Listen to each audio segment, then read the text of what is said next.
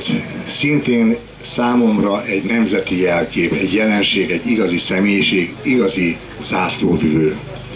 Bizonyára hallottak arról, hogy volt egy ember, aki gondolt egy merészet, és egyszer csak elment a Vereckei hágóhoz, aztán onnan nem akárhogy, hanem gyalog jött ha be Budapest a Kossuth térre. Útja során nagyon-nagyon sok magyar csatlakozott hozzá. Útközben étellel, itallal gazdagon traktálták, viszont a Kossuth téren nagyon kevesen várták. Akkor ő azt hitte, hogy ő benne van a hiba, pedig a teremtőtől erre az óriási útra, amire egyébként külön nem edzett, óriási erőt kapott, tehát emberfeletti teljesítmény volt minden nap, minden órájában arra helyre ért, amit előre, előzetesen megtervezett.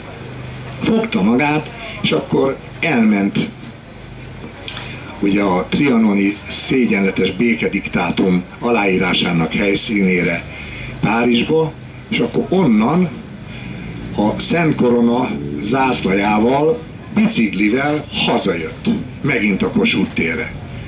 Végig az egész világon mindenki hallott erről a csodálatos tetről.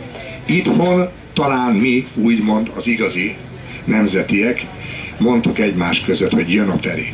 Megint nem voltak százezrek a Kossuth téren, csak néhányan. Aztán azt kapta a teremtőtől, hogy el kell mennie Csíksomjóra, de nem akkor, amikor mindenki, őnek egy másik időpontot sugott meg a teremtő. Ott is ő, fontos látomásai voltak, azóta is szó szerint a Szent Korona hírvivője, a Szent Korona egységének megteremtője, nemzetegyesítő társam, azóta is a Szent Korona fényét viszi szerte a Kárpát hazába. Legutoljára idén, nyáron Apai pusztára érkezett augusztus 18-án vasárnap déli 12 órára, a Szent Korona üzenetével, amely egyébként a sátunk elején is található, a Szent Korona keresi elveszett nemzetét. Természetesen itt arra gondolunk azokra a magyarokra, akiket én a mai napunk elején elmondtam, hogy én abban bizonyos egyes csoportban sorolok, magyarnak született, magyarul beszél, de még nem tudja, hogy milyen magyarnak lenni, milyen büszke gyönyörűség. Engedjék meg, hogy drága barátomat, bajtársamat, Orosházi Feri barátomat bemutassam önöknek, illetve őt kérjen előadása megtartására a Szent Korona Egysége címmel. 1, 2, 3. Tisztelettel köszöntöm Önöket, Orosházi Ferenc vagyok. Takács András barátom tartott itt előttem előadást, nagyszerű előadást. Nagyon sokban tudok hozzá kapcsolódni, de hát ugye két emberből vagyunk, azért nekem van egy-két dolog, amiben más a véleményem. Ezt is meg fogom osztani, és nem elsősorban azért, hogy éket verjek itt a nemzeti oldalon természetesen, hanem azért, hogy esetlegesen egy másik nézőpontból is megpróbáljam megvilágítani azt, amit én jelenségnek tartok. András azt mondta, hogy fogy a nemzet, létszámában is és minőségében is.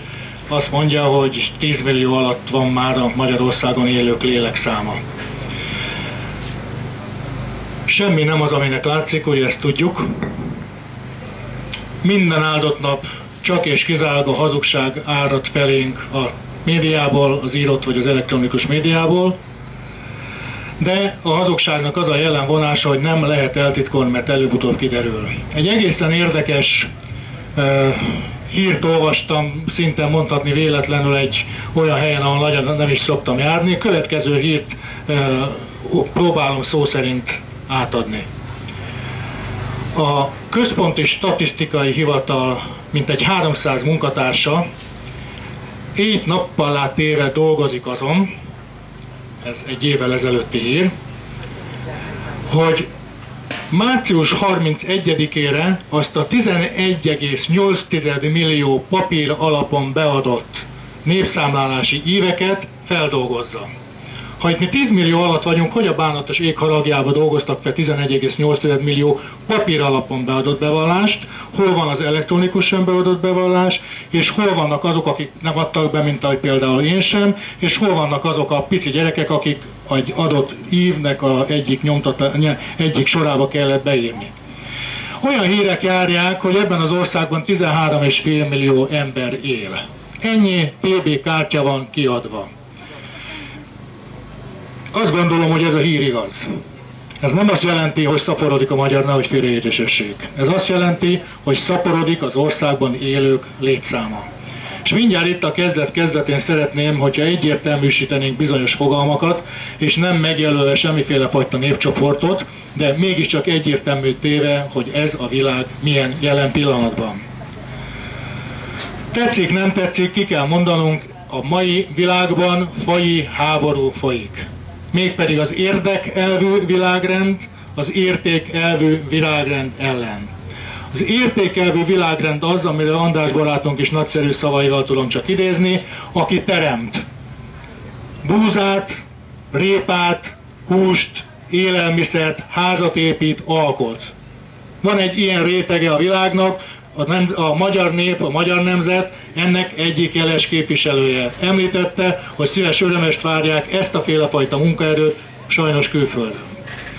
A másik fajta az élősködő fajta, nevezzük parazitának őket, azok, akik gazda állatként tartanak bizonyos embereket, akik alkotnak, akik teremtenek, és az ő energiájukat szívják. Ilyen létezik az állatvilágban is, létezik az emberi világban is, ezt nem szabad letagadnunk, mert akkor pontosan az igazságot takarjuk el egymás elől. Tehát nevezük őket parazitának, ez fajra, színre való tekintet nélkül, ez tetten érhető ez a jelenség.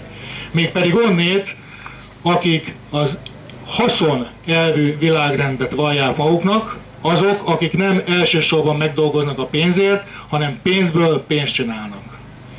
Nem szeretnék ezen a vonalon hosszú ideig haladni, de bevezetőnek ezt szerettem volna kapcsolódni András barátunk mondókájához.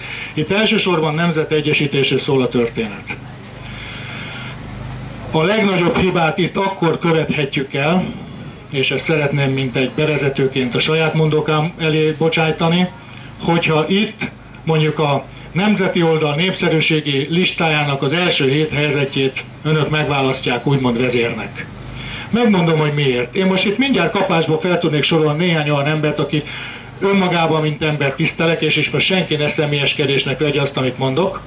De le tudnék ültetni ide csak mondom a neveket, de nem bántásként ezt az értsük meg. Leültetjük ezt a, egy asztalhoz a Borbé Jóskát, a Kásarápit, mellé a Halász Jóska bácsit, meg még a Benegabit is, és garantáltan 5 percen belül vér folyik. A dolog lényege, nem ez. Nem így szabad nekilátni ennek a dolognak, nem így szabad az egy, a nemzetegyesítésnek nekilátni, mert nem személyhez kötött. Mi az, ami egyé teszi a nemzetet? Három dolog. Minimum, de a legfontosabb.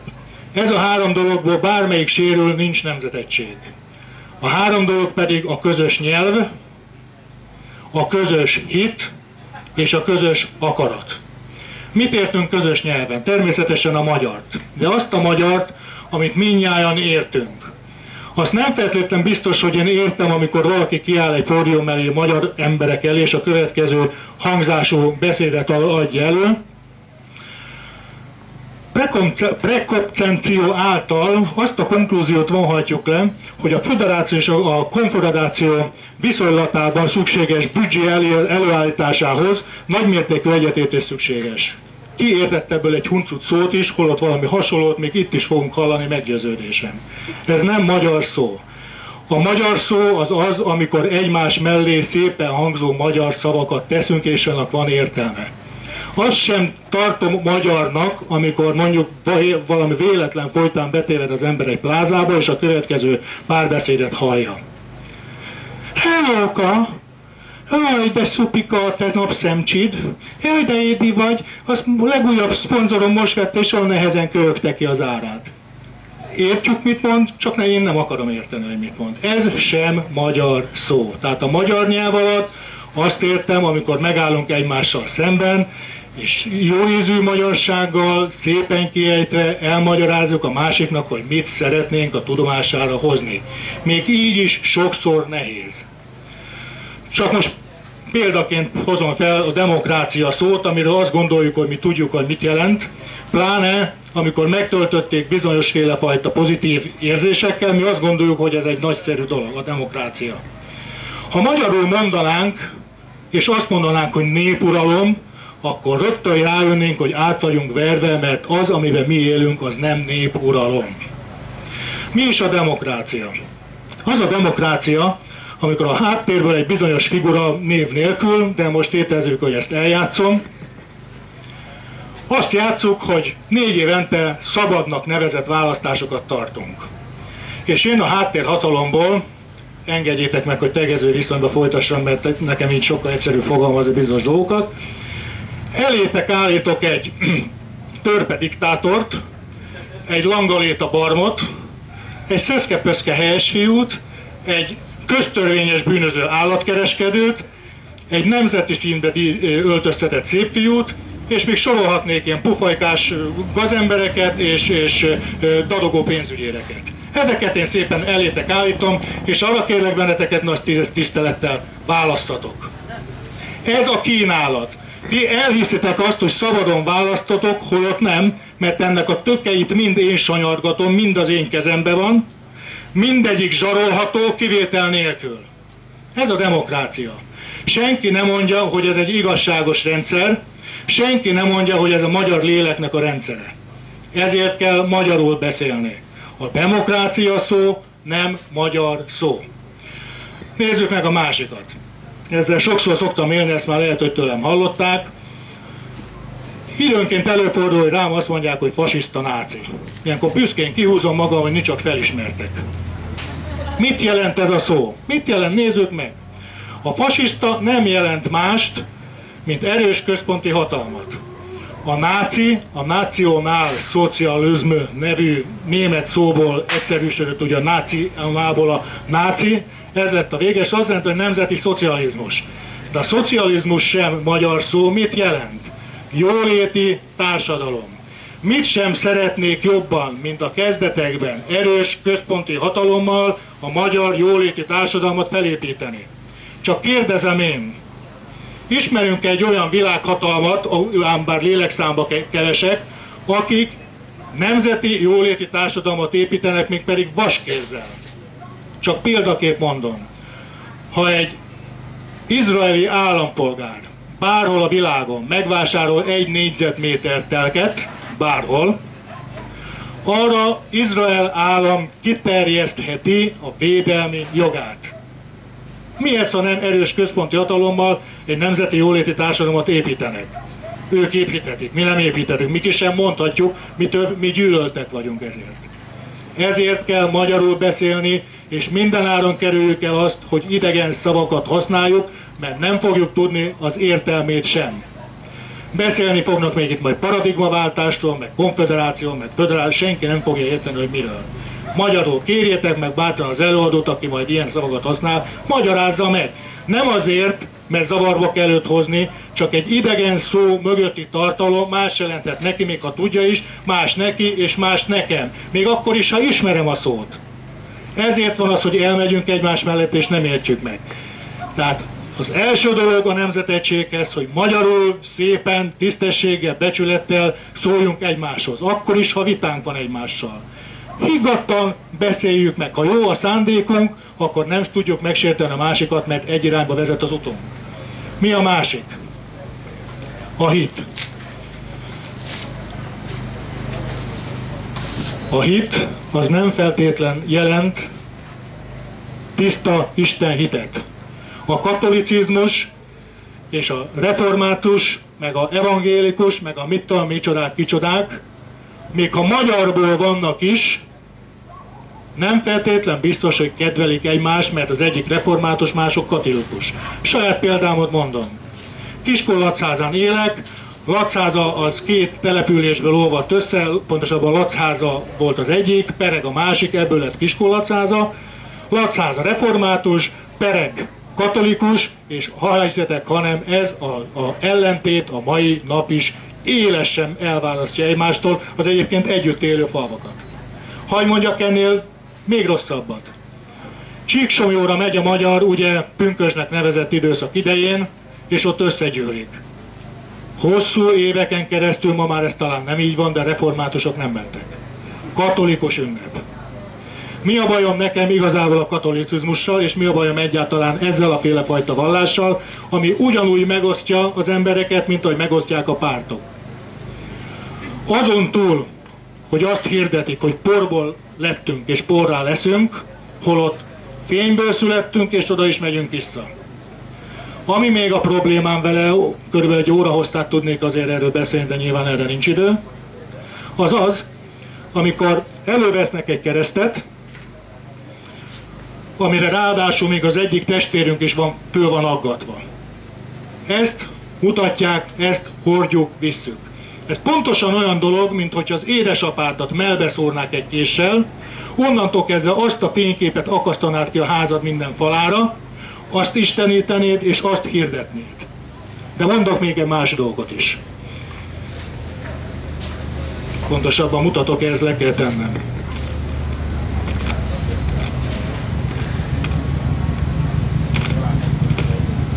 Ugye szok... Kikapcsoltad? Oldalsó. Működik. Működik nem. Szólok mindjárt.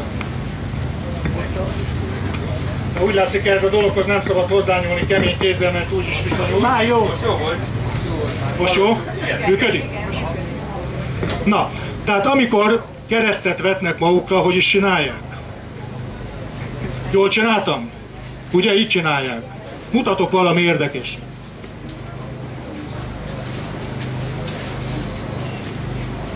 Jól csinálom?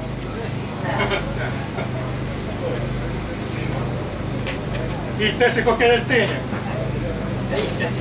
Így teszik a keresztények. Nagyon sokan ezt, ez, ez nekik a keresztet, és nézzük meg, mit csinálnak.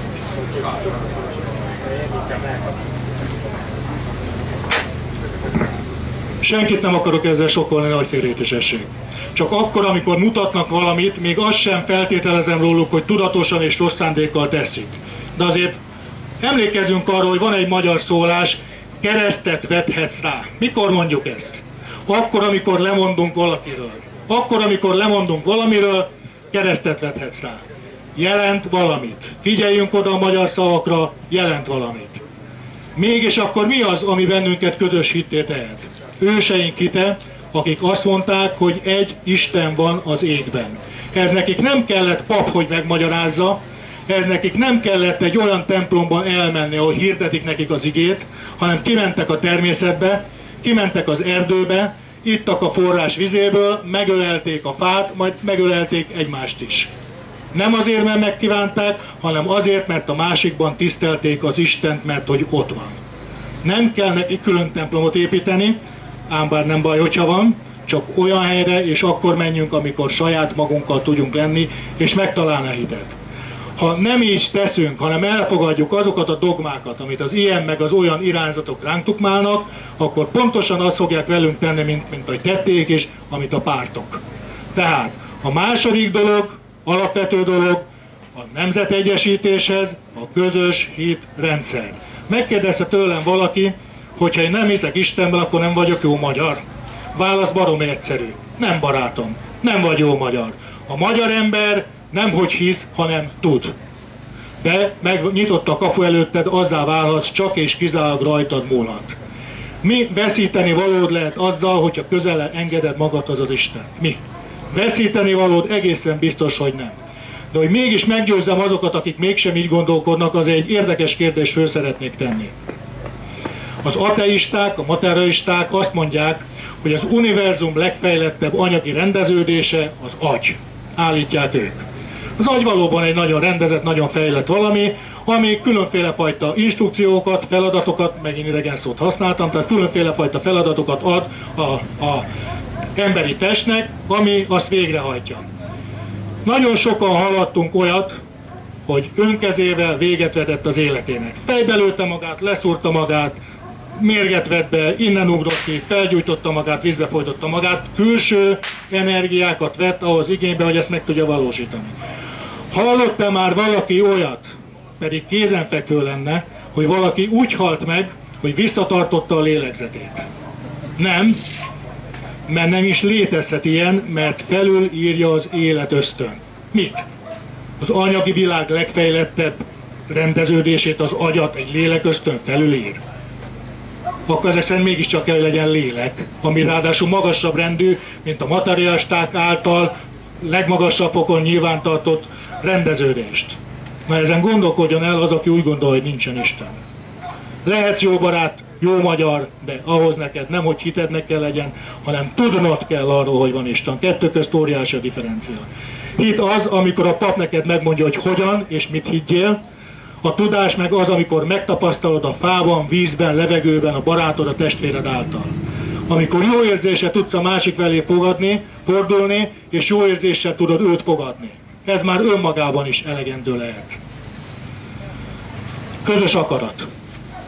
A harmadik. Ennélkül megint nincs nemzetegység. A közös akarat kinyilvánítása nem egy vezérben rejlik. Ez a dolog mondandója, és ez a leglényegesebb eleme. A nemzeti oldalon nagyon-nagyon sok ember van, aki jól teszi a dolgát. De ha leültetünk tíz magyar embert egy körbe, és feldobunk egy problémát, akkor az a tíz magyar ember tízféle megoldást fog erre találni, mert ilyen az agya. Mert rendkívül fejlett agya rendelkezik, ezért tíz különböző jó megoldást fog találni. De mindegyik szentől meg lesz győződve, hozzáteszem némileg joggal, hogy csak és kizárólag az övé az üdvözítő. Mert az ő logikai rendszere alapján végigvihető, működtethető, rendszerbe szervezhető. Soha a büdös életben nem fog a másikkal, most kicsit elsarkítom azért a dolgokat, összeülni és azt mondani, hogy ez így nem jó. Vagy hogy fogadd el az enyémet és menjünk a másik úton. Nem lesz itt ilyen rendeződés alapján nemzet egyesítés. Az elmúlt néhány évet én mégiscsak erre szenteltem és megpróbáltam, de soha nem működött úgy, hogy leültünk hármasban, négyesben, ötösben, és megpróbáltuk közös nevezőre hozni a dolgokat. Nem működik az előbb említett okok miatt. Mi az, ami működött? Az működött, hogy megtanultam ezeknek az embereknek a gondolkodását, még akkor is, ha szöges ellentétben állt egymással, és megpróbáltam megtanulni benne azt, ami közös lehet, ami mindenki számára adott esetben elfogadható lehet, de ezt soha nem fogják a büdös életbe egymásnak beismerni. Mégis mi lehet ez a közös nevező, mégis mi lehet az a közös szándék és közös akarat? A közös szándék és akarat először is onnét gyökeredzik, hogy vegyük észre, hogy probléma van a világban. Kis hazánkban különösen. Magyar nemzetre különösen kiélezett probléma van. Ha ezt nem veszük tudomásul, és azt gondoljuk, hogy ez a jelenlegi rendszer keretein belül ilyen párt, olyan párt, amolyan pártban meg lehet oldani, nem lehet. András barátom ugyan felvázolt egy, egy jövőt, hogy majd a nemzeti kormány ezt megoldja, de következő mondatában azt is előre jelezte, hoztam a véleményét, hogy a Fidesz ezt a választást, ha lesz választás, meg fogja nyerni. Akkor megint mi lesz? Négy éven keresztül ugyanezt fogjuk élni, amit most is élünk. Ha valaki azt gondolja, hogy az egyik párt jobb, mint a másik, akkor a következő számadatot próbálom elétek tárni, ellenőrizhető. 1989-ben az úgynevezett rendszerváltást megelőző időszakban volt 20 milliárd dollárnyi adóssága ennek az országnak, és volt sok ezer milliárd dollárra tehető nemzeti vagyona. 1989 óta eltett 23 esztendő, az addigi 1000, ugye 20 milliárd dollár az 1000 milliárd forintnak volt számítható abban az időben, az eltelt 23 esztendőben 23 ezer milliárd dollárra nőtt az államadóságunk, úgyhogy teljesen elkopott a nemzeti vagyon. Nullára fogyott a nemzeti vagyon. Az elmúlt időszakban a jelenlegi parlamenti pártok vagy ellenzékben, vagy kormányon mindegyik ott volt és asszisztált, és nehogy azt gondolja az egyik vagy a másik többet lopott, hajszál pontosabb, fillére pontosan elosztató, minden évben 1000 milliárd dollár, 1000 milliárd forinttal nőtt az államadóságunk. 23 ezer milliárd forint a jelenlegi államadóságunk. Egyik kutya, a másik ebb, ahogy szokták ezt vala mondani.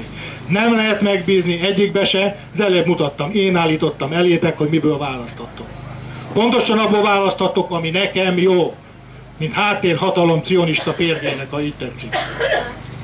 Nem ez a mi útunk. Azt mondja András barátunk, hogy ebben az országban nincs forradalmi helyzet. Én egészen biztos vagyok benne, hogy van.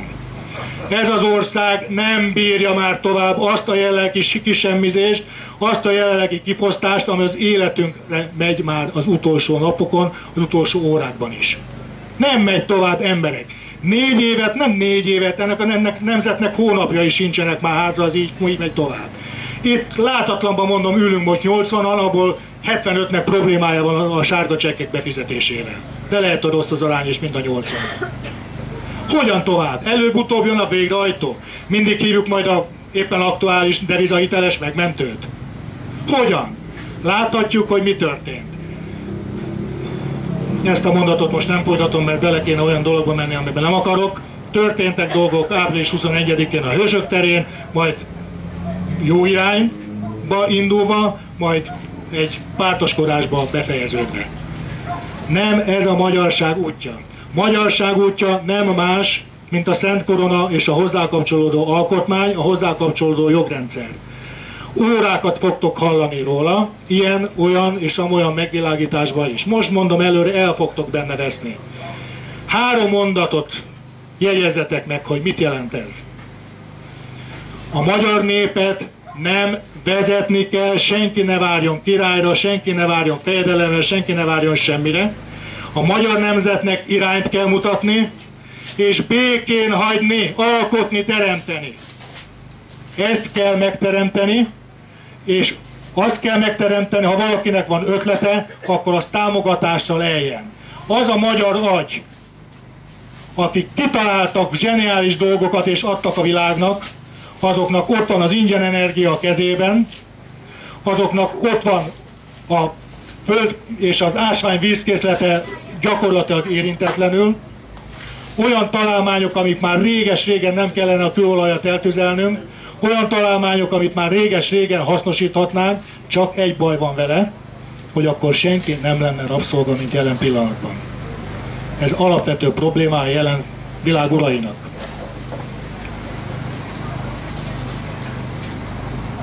Támogatni kell azt a magyart, akinek van egy jó ötlete, nem úgy, mint most is elnyomni, megvenni tőle filléreki, amit kitalált, és vagy a fiókba elsüllyeszteni, vagy pedig más idegen népek hasznára hasznot, hasznot húzni, nem hogy a közösség javára.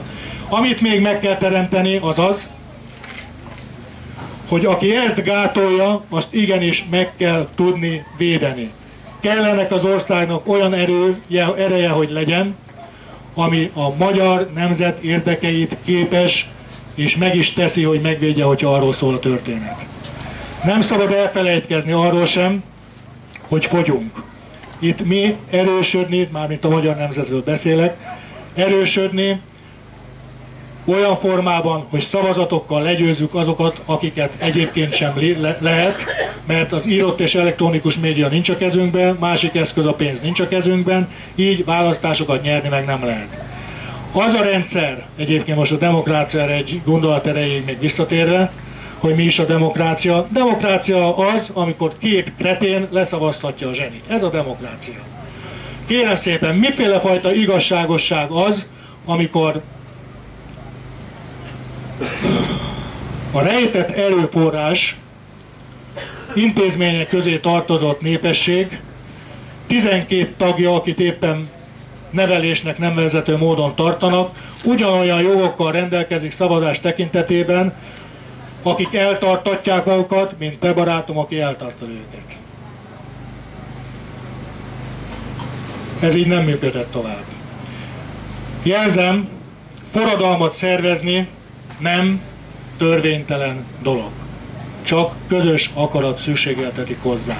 És a forradalom nem feltétlenül jelenti azt, hogy fegyvert kell fogni, és írmagjáig kiirtani mindenkit, hanem először is eljutni odáig, hogy meglegyen a közös akarat, hogy mit szeretnénk. Ha azt szeretnénk itt mi minnyáján, hogy holnap után elmenjünk mondjuk a Margit szigetre, és ott meditáljunk egy jó ízűt minnyáján, vagy beszélgessünk, akkor teljesen mindegy barátom, hogy te a Szabolcsból jössz, a Hajdúságból, vagy Sopron megyéből, vagy délről, vagy északról, keletről, vagy nyugatról. Ott leszel, mert tudod, hogy egy a cél, tudod, hogy ott a helyed. Abban a pillanatban, amikor ez a cél nincs kimondva, és nincs kihangsúlyozva, és nincs meghatározva, akkor ha pontos időpontot is mondsz, hogy déli 12 óra, akkor pont az ország 77.627 féle helyén leszünk. Addig nincs nemzetegység, addig nincs cselekvő akarat, addig nem lehet úgymond békés forradalmat sem szervezni. A békés forradalom pedig nem a szavazó fülkékben zajlik. A békés forradalom az, amikor a rendőr is tudja, hogy annyian vannak megadott helyen, megadott időben, hogy kénytelenek elfogadni azt, amit ők óhajtanak. És mi nem óhajthatunk más, mint ettől a rendszertől megszabadulni, és óhajtanunk kell Szent Koronának azt az értékrendjét, ami minnyájunknak a jövőjét szolgálja. A Szent Koronának nem csak jogrendje van, hanem szakralitása is. A Szent Koronának olyan szakralitása van, ami önmagában képes, ha odafigyelünk rá és befogadjuk a szívünkben, egységet teremteni. Mert ő az, aki számunkra megjelenítheti az igazságot. Fegyver nélkül hatékonyan harcolni az igazság kimondásával lehet. Nem szabad elmismásolni semmit. Nem szabad félresöpörni semmit, meg kell ígérni nekik, hogyha ti abba, hagyja, abba hagyjátok a hazudozást, mi abba hagyjuk az igazság kimondását. Ilyen baromi egyszerű az a világ, ez szerint kell élni. Tisztelettel megköszönöm, hogy meghallgattak. Ha van kérdés, én szívesen válaszolok. Fölöslegesen nem akarom nyújtani az időt, mert jönnek mások is, akik szeretnének itt előadást tartani.